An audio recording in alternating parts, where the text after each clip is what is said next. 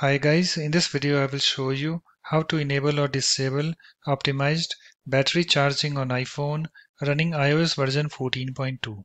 So this is my iPhone device, so let's start. So first of all you have to open your settings app. So here is my settings app, let me tap on this to open it. You can see guys it's opened. And also let me show you guys first that I have iOS version 14.2 installed on this iPhone device. So let me tap on this general. And then let me tap on this about. And you can see guys here I have this uh, software version. You can see I have iOS version 14.2 installed on this iPhone XR so let me go back. Let me go back again. So in order to enable or disable optimized battery charging on iPhone what you need to do you have to open your settings app and after that guys you have to scroll down to battery so let me go over there. So here I have this battery. So you have to tap on this to open it. You can see guys it's opened.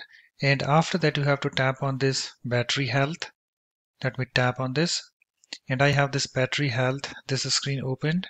And on this screen guys you have to come to this option optimized battery charging okay you can see currently we have this you know disabled you can see the toggle is currently uh, disabled and also here we have this little message let's read that uh, to reduce battery aging, iPhone learns from your daily charging routine so it can wait to finish charging past 80% until you need to use it.